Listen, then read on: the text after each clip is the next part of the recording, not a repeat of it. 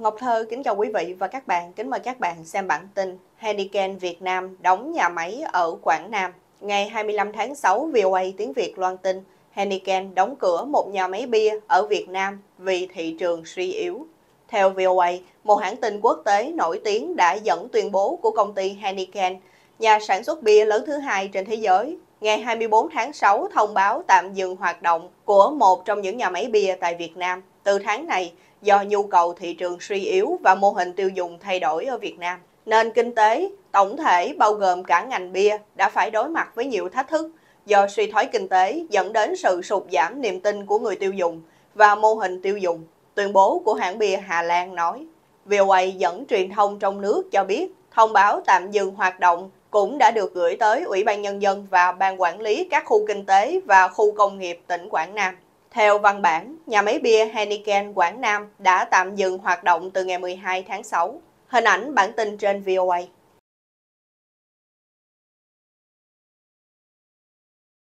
Vẫn theo VOA, doanh nghiệp của Hà Lan cho biết, ngoài yếu tố tăng trưởng kinh tế sụt giảm, việc Việt Nam triển khai Nghị định 100, trong đó hạn chế giới hạn nồng độ cồn đối với tài xế xuống không kể từ năm 2019 đã ảnh hưởng đến việc tiêu thụ bia của người tiêu dùng. Hậu quả là lần đầu tiên sau nhiều thập kỷ, thị trường bia Việt Nam chứng kiến mức sụt giảm hai con số vào năm 2023 và tiếp tục giảm ở mức trung bình một con số từ đầu năm đến nay.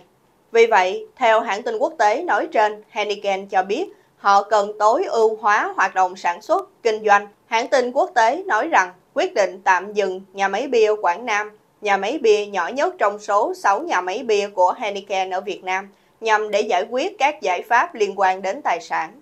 VOA cho biết thêm, báo Tiền Phong dẫn văn bản của hãng bia nói thêm, quyết định này cũng phù hợp với tham vọng và trách nhiệm của Việt Nam và Heineken Việt Nam trong việc hướng tới mục tiêu không phát thải carbon trong hoạt động sản xuất. Chúng tôi cần tiếp tục tối ưu hóa với ít nhà máy hơn, nhưng mỗi nhà máy lớn hơn về quy mô. Ngoài ra, theo hãng tin quốc tế, Heineken cho biết họ đang tìm kiếm quy mô hiệu quả về kinh tế để hợp lý hóa hoạt động của mình, giúp cho chúng tôi tiếp tục đầu tư và thúc đẩy tăng trưởng tại thị trường Việt Nam. Hình ảnh nhà máy Heineken Quảng Nam VOA cũng cho biết công ty trách nhiệm hữu hạn nhà máy bia Heineken Việt Nam là liên doanh giữa Heineken và Tổng công ty Thương mại Sài Gòn Hãng bia này bắt đầu hoạt động tại Việt Nam với nhà máy đầu tiên ở thành phố Hồ Chí Minh vào năm 1991. Đến nay, Heineken đã có 6 nhà máy. VOA dẫn nhà sản xuất bia Hà Lan cho biết họ đã đầu tư hơn 1,1 tỷ USD vào Việt Nam và các nhà máy bia của họ đã trực tiếp tuyển dụng hơn 3.000 người, đóng góp 1,04% GDP cả nước. Riêng nhà máy bia Heineken Quảng Nam, truyền thông trong nước cho biết Trước dịch Covid-19, bình quân nhà máy này mỗi năm đóng góp vào ngân sách cho tỉnh từ 1.000 đến 1.200 tỷ đồng. Tuy nhiên, khoản đóng góp nghìn tỷ đã sụt giảm liên tục trong vài năm gần đây. Riêng 3 tháng đầu năm 2024, nhà máy Heineken chỉ đóng góp cho ngân sách địa phương khoảng 20 tỷ đồng, theo báo Tiền Phong. VOA cũng dẫn Bộ Tài chính Việt Nam cho biết vào hồi đầu tháng này rằng Họ đang lên kế hoạch tăng thuế tiêu thụ đặc biệt đối với đồ uống có cồn lên 100% vào năm 2030. Một động thái có thể gây tổn hại thêm nữa cho ngành này. Hạn chế rượu bia là điều tốt, tuy nhiên hạn chế quá triệt để lại gây ra những hệ lụy khác. Có thể thấy rõ nhất trong thời gian qua, chính là chính sách này đã làm tổn thương trầm trọng hơn cho nền kinh tế vốn đang trên đà suy thoái suốt 3 năm qua không chỉ khiến nguồn thu ngân sách giảm mà còn ảnh hưởng dây chuyền đến một loạt các ngành khác như ngành bán lẻ, ngành nhà hàng, khách sạn. Quý vị và các bạn vừa theo dõi chương trình cập nhật tin tức của Ngọc Thơ thời báo chấm D với bản tin Henneken Việt Nam đóng nhà máy ở Quảng Nam. Tập đoàn Hàn Quốc rút vốn có phải là dấu hiệu báo hiệu sự suy tàn của Vingroup? Ngày 24 tháng 6, AFA tiếng Việt loan tin tập đoàn SK của Hàn Quốc muốn rút vốn khỏi Masan và Vingroup. AFA dẫn báo chí Hàn Quốc hồi cuối tuần qua cho biết tập đoàn lớn thứ ba ở Hàn Quốc là SK Group đang trong quá trình thoái vốn khỏi Masan và Vingroup, hy vọng có thể thu về 720 triệu đô la thông qua việc bán các khoản đầu tư ở hai tập đoàn này tại Việt Nam. AFA cho biết SK Group đã đầu tư 470 triệu đô la, tương đương 9,5% số cổ phần vào Masan năm 2018 và đầu tư 1 tỷ đô la vào Vingroup năm 2019. Ngoài Vingroup và Masan, SK Group cũng đầu tư vào nhiều lĩnh vực khác tại Việt Nam, bao gồm phân phối, hàng tiêu dùng, phát triển bất động sản và chăm sóc sức khỏe với các doanh nghiệp như Pharmacity, IMAX Pharma, BV Oil, Cửu Long, JOC, Marine Bells. Tổng vốn đầu tư là 2,5 tỷ đô la. AFA dẫn một thông báo của Masan cũng công bố hôm 24 tháng 6 cho biết hai công ty đang trong giai đoạn cuối để SK Group giảm cổ phần nắm giữ tại Masan. Hình ảnh bản tin trên AFA. AFA cũng dẫn tờ báo Mail Business Newspaper của Hàn Quốc cho biết SK Group hy vọng có thể hoàn tất việc đàm phán bán 6,1% cổ phần của Vingroup chậm nhất vào cuối năm nay. Tờ báo dẫn lời người đại diện của SK cho biết, ngay cả khi việc bán cổ phần hoàn tất, quan hệ hợp tác giữa tập đoàn SK với Vingroup và Masan vẫn sẽ tiếp tục.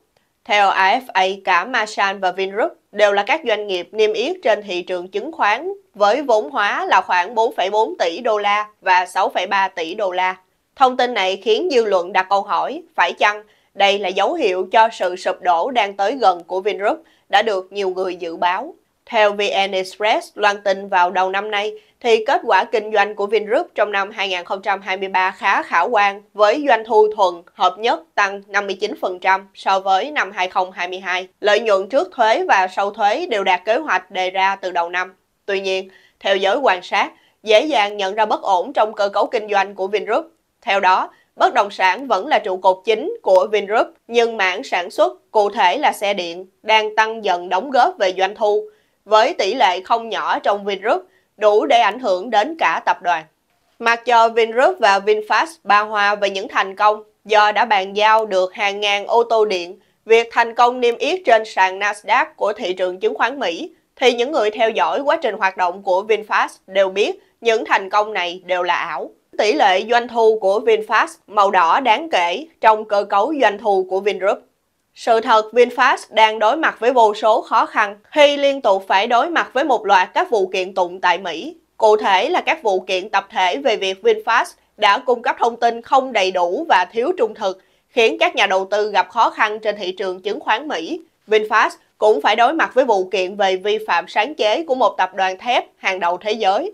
Chưa hết, VinFast đang bị giới chức Mỹ điều tra về một vụ tai nạn khi sử dụng xe ô tô điện VinFast khiến một gia đình 4 người thiệt mạng tại California. Ngoài ra, đa số ô tô điện của VinFast được bán cho công ty taxi GSM, cũng thuộc sở hữu của ông Phạm Nhật Vượng, ông chủ của VinFast.